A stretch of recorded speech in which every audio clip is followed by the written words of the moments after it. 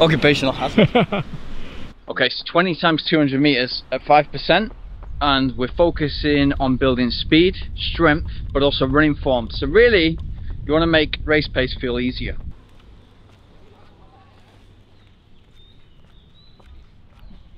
Okay, so the warm up for this is literally priming the body ready to run those intervals fast. So the first two will be controlled, but I want to be running as fast as I really want in the interval session during the warm up.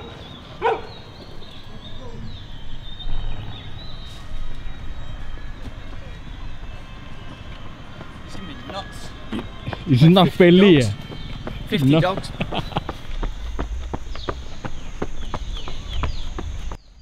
So this is all you need. You need a- a little hill, 200 meters, ideally 400 or more.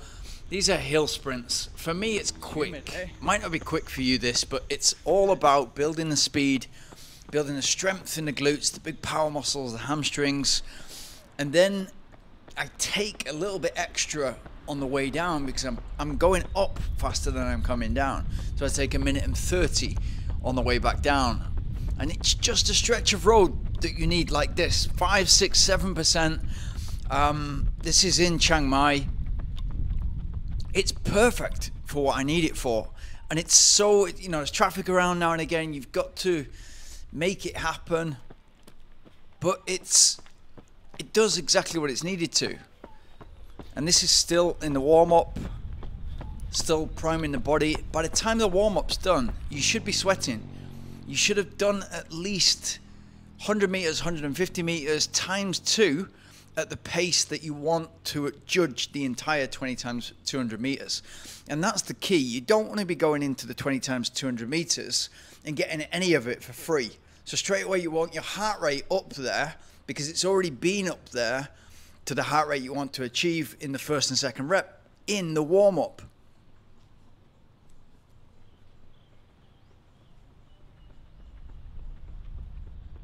So this is the first rep. I'm well warmed up for it. My body's primed. I'm trying to hit that at the pace that I think I can sustain 20 of them for. So the first two should be easy. Just gradually feeling your way into it, using the right muscles. And this is the magic of hill reps. They force you to use your body in the right way and become a better runner. You've got to push off with the glutes and the hamstrings. The calves are not going to cut it up going uphill at pace, or you'll soon find out about it.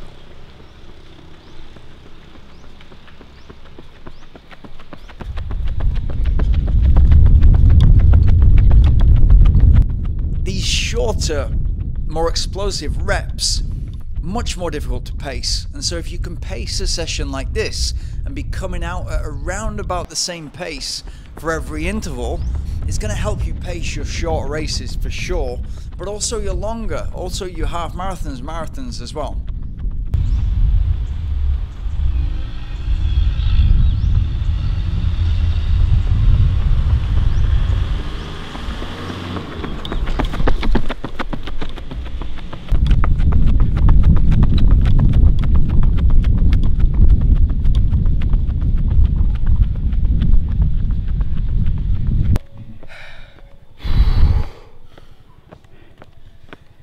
12.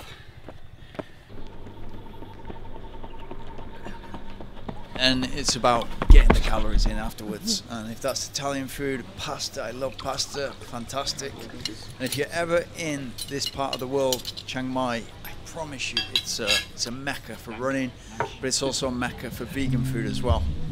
Uh, such a nice vibe to it. These older restaurants and coffee shops and live musicians. It's perfect.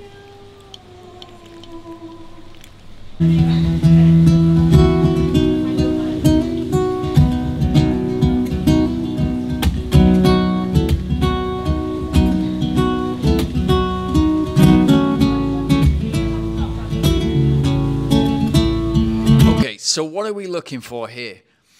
Hill reps 20 times 200 meters, so just 8.4 kilometers of hard work. Good warm up, good cool down, so you're priming your body for it. Just over five miles of hard work, but that session really, really kicks. and then this is the it's just the up and down. So that's as simple as it needs to be. And what am I looking for? The heart rate at a glance there, I'm happy with. Immediately, I'm happy with it. The pace is about right, and I've, as I said before, it's important to pace this well, and it's difficult to pace it well. But the fact that I'm already getting into, let's have a look at Garmin Connect for a little bit more info. Let's get me out of the way. Um, and the heart rate here, so I'm already getting up to 171 beats in the first rep, and that's not possible. 177 in the second rep, not possible without a really good warm up where you're hitting a couple of reps at 100, 150, even 200 meters, even the full rep length once or twice in order to put yourself in a good position to really hit the 20. And then what I'm seeing there is the peaks are pretty much all in control and the valleys, the heart rate is recovering nicely in between 133, 134, and throughout the session, a little bit less earlier on. That's great. What you can also tell from this at a glance, if you you know if you've got the heart rate monitor or if your watch does this, run cadence and stride length is interesting, and ground contact time. So these three together, if your run cadence starts to trend up, which it will with a lot of you, not just in a sprint session like this or a faster session, but any interval session and towards the end of your races. Your run cadence is going up. Then your stride length will come down and that will mean that your your glutes are getting weak, your power muscles getting weak, and you're not able to propel yourself over the ground ground contact time, when you get a bit labored, when you get a bit tired, that'll start to that'll start to, to go up as well. So you'd be spending more time on the ground instead of fast feet.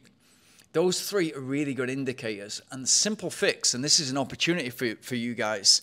Simple fix here is power work in the gym and sprint sessions like this. If you're switching on and able to engage the glutes, the hamstrings, the big power muscles, and the quads are not going to get fatigued, but the calves know that the they're also going to take a little bit of a hit. Then the stride length should stay strong throughout your races and throughout your interval sessions.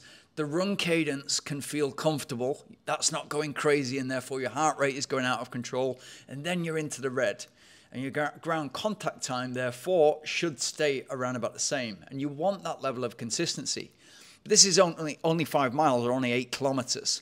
So it's quite comfy to do that. But as you saw from the videos, had to put in quite a lot of effort because it started to get steep towards the end. And it's important to dig in there because that's when you're getting the power.